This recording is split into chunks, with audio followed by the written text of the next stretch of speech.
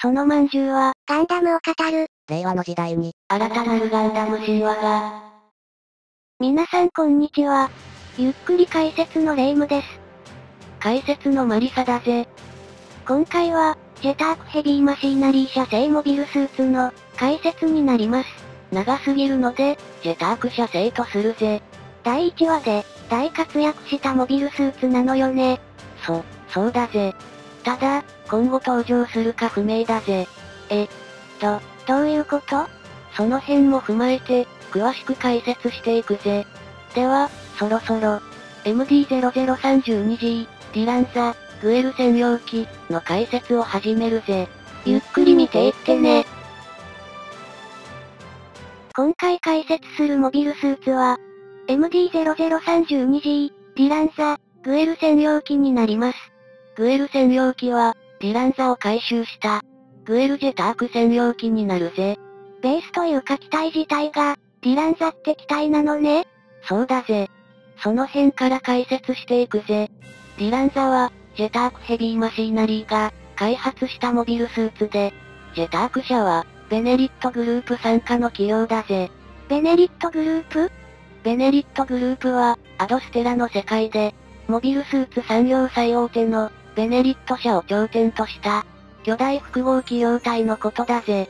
その中で業績トップの、ジェタークヘビーマシーナリー、グラスレーディフェンスシステム、ペイルテクノロジーズは、御三家と呼ばれているぜ。へえ。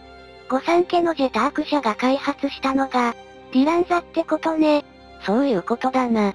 ベネリットグループは、あまたの企業を傘下に収めており、その中には、ガンダムエアリアルを独自に開発したとされる、シン・セー開発公社もあるぜ。ディランザを開発したジェターク社って、100社以上のトップ3ってことは、ディランザの性能は、かなり高いんじゃない？そうだぜ。ディランザは、ジェターク社の汎用モビルスーツで、状況やパイロットに合わせて、様々な変更ができる、設計になっているぜ。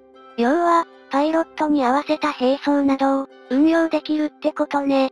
そうだぜ。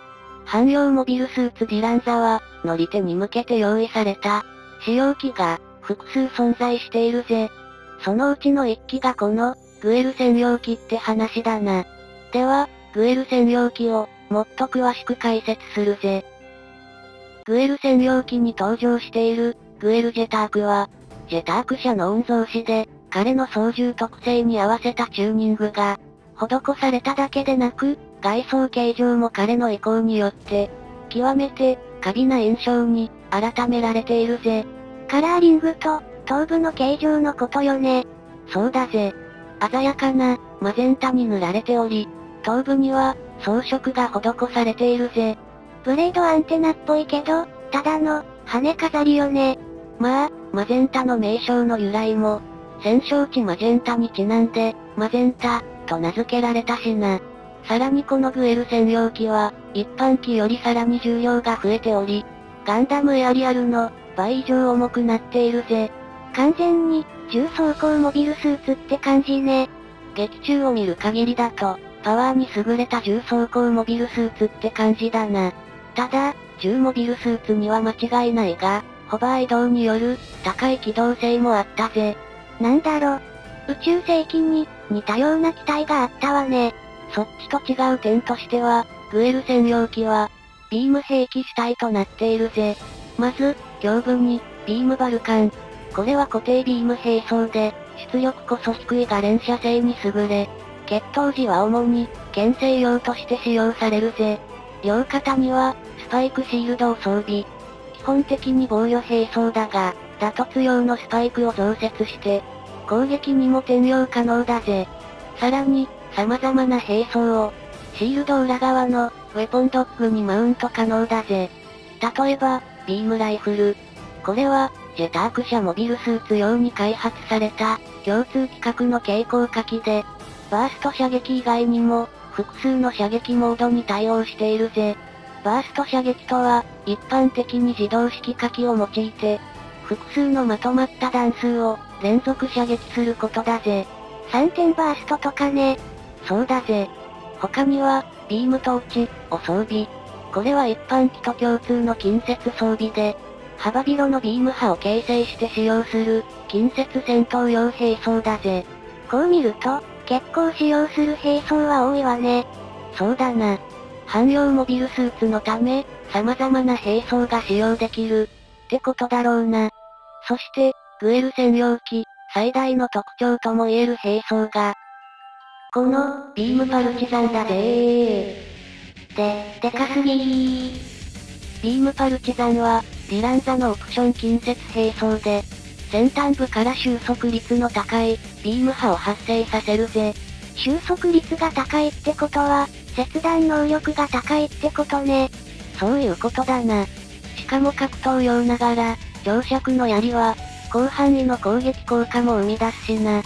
あれこれって、グエル専用機は、重装甲、高機動で、近接特化型だけど、長いリーチの槍と、ライフルも装備しているため、一般機では、全く相手にならない気が。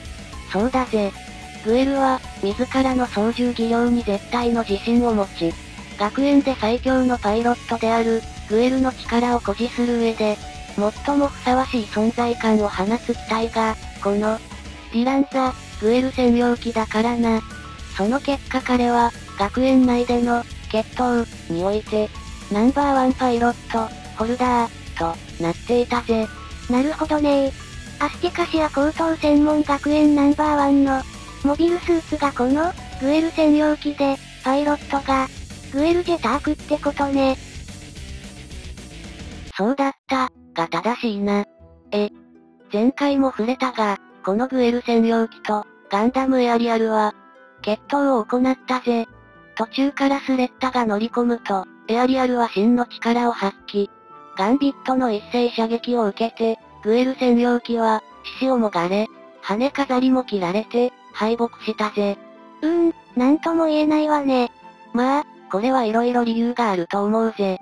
まず、ガンドアーム対策を全く行っていない。これは、この時代ガンドアームは、開発そのものを禁止。対策していないのも、仕方がないと思うぜ。学園内での戦いだしね。グエル専用機自体は、他のモビルスーツ相手には、圧倒的強さを見せたしな。決して、ディランザ自体が弱い、そして、グエルジェターク自体が、弱いわけではないと思うぜ。専用機の性能を出し切っているしね。そういうことだな。そして、第3話のサブタイトルが、グエルのプライド、になっているぜ。こ、今後も目が離せないわね。第4回いかがでしたか？グエル専用機と、エアリアルの戦いを見ると、なんでガンドアームが、危険視されたかって、分かったと思うぜ。こんなの量産されたら、他社のメーカーは終わりよね。ただ、前日単から10年以上経っているため、万が一のために、何かしらの対策強化は、されていると思うぜ。それも今後登場しそうよね。そうだな。あとホルダーや企業、他の設定に関しては、キャラクター解説にて行うので、ゆっくりまったりお待ちください。今後も楽しみね。では、今回はここまで。また次回会おうぜ。また次回お会いしましょう。